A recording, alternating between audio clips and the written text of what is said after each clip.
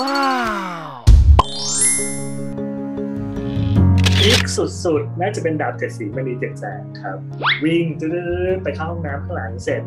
พอออกจากห้องน้ำมาเท่านั้นแหละ โอ้โหแบบมีคนเอานู่นเอานี่มาให้ก็วิ่งตามเป็นพวนมาถึงรถอะไรอย่างเงี้ยก็หลังจากที่เกิดเรื่องโดนจับเรื่องยาเสพติดใช่ไหมครับ ก็ก็หยุดงานไปสองปี ถ้าให้พูดมันก็เหมือนกับเป็นแผลเป็นในชีวิตนะ ไม่ได้รู้สึกว่าโอ้โหมันเป็นเรื่องที่ร้ายแรงถึงขนาดที่พูดถึงไม่ได้หรือเป็นเรื่องร้ายแรงถึงขนาดที่ เราต้องเอาปี๊บคุมหัว เวลาใครเมนชั่นเรื่องนี้ขึ้นมา สวัสดีค่ะข่าวสดจะเกิดเหตุว้าว วันนี้เราจะพาไปคุยกับอดีตพระเอกละครจากจากวงวงชื่อดังหนึ่งมาลิศเชยโสพลเจ้าพ่อละครพื้นบ้านโกยเรตติ้งถล่มทลาย ไม่ว่าจะเป็นขวานฟ้าหน้าดำ ดาบเจ็ดสีมณีเจ็ดแสง หรือสี่ยอดกุมารที่แม้จะผ่านมา 20 กว่าปีแล้วยังอยู่ในใจใครหลายคน ไปฟังเจ้าตัวเล่าย้อนความโด่งดังให้ฟังกันเลยค่ะ peak สุดๆ น่าจะเป็นดาบเจ็ดสีมณีเจ็ดแสงครับ โอมสุจิปุลิเนี่ยแหละที่ พี่ม้าใดๆที่คนยังจำได้ที่จะทักค่อนข้างเยอะนะครับหรือไม่ก็มาโหสดคนก็จะทักเยอะเพราะเป็นเรื่องแรกแล้วก็เป็นเป็นแขกแขกถ้าเป็นคุณรุ่นคุณป้าคุณย่าคุณยายเนี่ย จะเรียกพระเวสสันดรเพราะว่าเขาจะทำได้จากพระเวสสันดรอะไรเงี้ยครับแต่ถ้าเป็นเด็กๆเจนเนี้ยก็ขวานฟ้าหน้าดำกับดาบเจ็ดสีมณีเจ็ดแสงเนี่ยแบบว่าพีคสุดแล้วประเภทแบบ เคยไป ถ่ายดาบเจ็ดสีนี่แหละ แล้วก็บอกว่า สมัยก่อนเนี่ยมันก็ปั๊มตามห้องน้ำเนี่ย มันยังไม่ได้แบบอุ้ยใหญ่โตสะอาดซ่านเหมือนเดี๋ยวนี้ เวลาไปต่างจังหวัดแล้วปั๊มมันก็ไม่ได้เยอะเราก็อาศัยว่าบางทีต้องเข้าตามตลาดมีตลาดตามชุมชนอะไรเงี้ยแล้วก็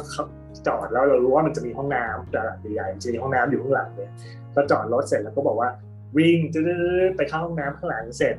พอออกจากห้องน้ำมาเท่านั้นแหละ โอ้โหแบบ แม่คงแม่ค้ามาอ๋อคนบอกว่า เจ้านี้ทำข้าวหลามก็เอาข้าวหลามมาให้ เจ้านี้เอาอะไรแบบคือเราก็บอกว่าเอ้ยแบบวิ่งไปก็ไม่ได้เอากระเป๋าตังค์ไม่ได้เอาอะไรลงไปเลยนะคือแบบจะเข้าห้องน้ำอย่างเดียวพอออกมานี่แบบโห มีคนเอานู่นเอานี่มาให้เขาก็รักเป็นดูอะไรอย่างเงี้ยครับเออโดยเฉพาะเอ่อคนคนแก่คนสูงอายุอะไรอย่างเงี้ยครับเออกับเด็กๆ ที่จะบอกอุ้ยจำได้แล้วก็วิ่งตามเป็นพวนมาถึงรถอะไรอย่างเงี้ย โอ้มีบางอาจครับไม่ขนาดนั้นเพียงแต่ว่า ก็คือด้วยความที่เล่นละครช่องเจ็ดเราเล่นละครคืนก่อนแล้วตลาดช่องเจ็ดมันก็ค่อนข้างกว้างอยู่แล้ว แต่มันก็ก็เป็นช่วงกลางคืน ซึ่งบางทีคนเฒ่าคนแก่เขาจะตื่นเช้าเอ่อบางทีเขาไม่ได้ดูละครกลางคืนเราก็จะได้ตลาดเด็กที่หยุดเรียนวันเสาร์อาทิตย์กับเอ่อกลุ่มคุณป้าคุณย่าคุณยายเพิ่มขึ้นมาจากจากจากตลาดละครกลางคืนอะไรเงี้ยครับ ก็ทำให้ มีคนรู้จักเยอะขึ้นอะไรอย่างเงี้ยประมาณนั้น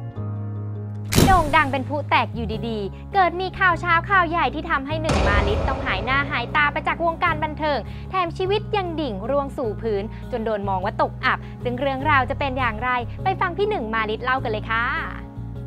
ก็หลังจากที่เกิดเรื่องโดนจับเรื่องยาเสพติดใช่ไหมครับ ก็ก็หยุดงานไปสองปี เพราะเหมือนตอนนั้นเหมือนกับเป็นเป็นเขาเรียกอะไรอะ เป็นกฎที่เขาคุยกันว่าถ้ามีนักแสดงที่ไปยุ่งเกี่ยวกับยาเสพติดจะโดนแบนสองปี เสร็จแล้วก็